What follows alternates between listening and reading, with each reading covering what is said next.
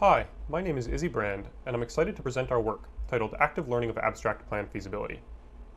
Long horizon sequential manipulation tasks, such as building a tower from blocks, can be effectively addressed by first planning in an abstract action space, which abstracts away low-level motion plans and grasps. For example, here, an abstract plan is an ordering of blocks and the relative poses between them. Once an abstract plan is found, the robot performs low-level motion planning to determine the motions and grasps it must use to achieve the desired tower.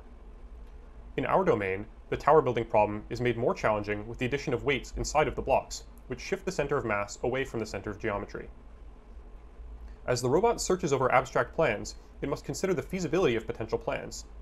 A feasible plan is one which the robot can successfully execute in the real world. Determining the feasibility of an abstract plan with the use of a simple model, such as a physics simulator, would not accurately capture the complexity of the tower building problem. This process is subject to noise in execution and estimation. Thus, we take a learning approach. The robot is given all object properties, as well as the ability to localize, pick, and place blocks. What it must learn is how to accurately predict whether or not an abstract plan is feasible. To label a plan's feasibility, the robot must execute the plan in the real world. The process is expensive, sometimes taking up to 10 minutes to construct a single tower. Therefore, our approach must be data efficient to limit the amount of real-world experimentation needed, and autonomous to limit the amount of human intervention. In addition, a useful model is one which generalizes to multiple tasks. First, the robot performs self-guided experimentation without a specific task or goal in mind. This consists of selecting which towers to build, labeling those towers, and using the labeled data to train the feasibility model. We then evaluate our method on several downstream tasks. We first plan to achieve a task objective, and then execute that plan in the real world. During the experimentation phase, we take an information theoretic active learning approach to minimize entropy over the feasibility model parameters. Specifically, in the selection phase, our objective is to choose plans whose execution trace would be informative about the feasibility model parameters. This approach requires a representation of model uncertainty, so we use an ensemble of graph neural networks to approximate a distribution over model parameters. The maximally informative experiment is one where each individual model in the ensemble makes a confident prediction, but the models collectively disagree. This is known as the bald acquisition function, introduced by Houlsby et al., which allows information gain to be calculated in the label space instead of in the high-dimensional parameter space. We sample and score plans to find maximally informative experiments. However, since a plan execution could fail in any step, longer plans are less likely to be feasible.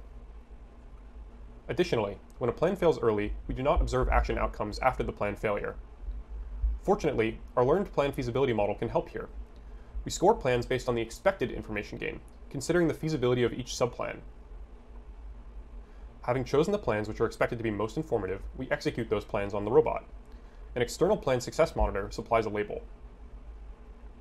The labeled plan executions are added to the data pool, and we retrain the ensemble of feasibility models. The robot repeats each component of the active learning loop, autonomously assembling towers and resetting the environment between experiments. In total, the robot performed 400 experiments to learn the feasibility model over the course of 55 hours. After learning a feasibility model by task-agnostic experimentation, we use the model with the Monte Carlo planner to maximize reward in multiple downstream tasks. During evaluations, we sample a set of candidate plans, and from those estimated to be feasible using our model, we select the plan that maximizes task-specific reward for execution. In this paper, we consider three tasks that require the robot to build challenging or unintuitive towers using blocks with shifted centers of mass.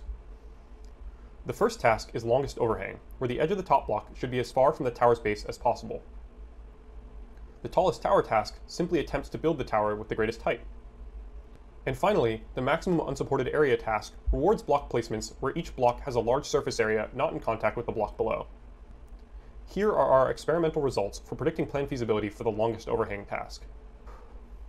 Predicting plan feasibility with a simple physics simulator leads to many unstable towers because of unmodeled real-world noise in the system.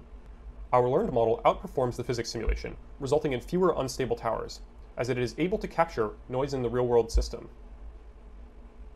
Unlike in simulation, collecting training data on a single real-world system cannot be accelerated or parallelized. A relatively small dataset of 400 towers took us 55 hours to execute, which is why autonomous and efficient data collection are paramount to these types of problems we have presented an integrated robotic system which conducts self-supervised experimentation to learn abstract plan feasibility and improves data efficiency by sampling potential plans to maximize information gain. Thank you, and please see our paper for more details.